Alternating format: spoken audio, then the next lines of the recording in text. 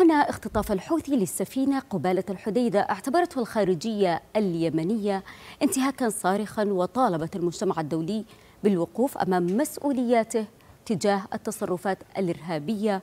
غير المسؤولة من قبل ميليشيات الحوثي وعدته أيضا دليلا إضافيا على خطر الميليشيا الحوثية المدعومة من إيران على سلامة حرية الملاحة البحرية والتجارة العالمية بمضيق باب المندب وجنوب البحر الأحمر وأيضا خطورة بقاء ميناء الحديدة القريب من خطوط الملاحة العالمية وأي منافذ بحرية تحت سيطرة الميليشيات ليس فقط على سفن دول التحالف بل على الأمن البحري العالمي. أمام هذا الواقع اعتبرت مصادر دبلوماسية أن الحوثي أو ميليشيات الحوثي هي إرهابية وقراصنة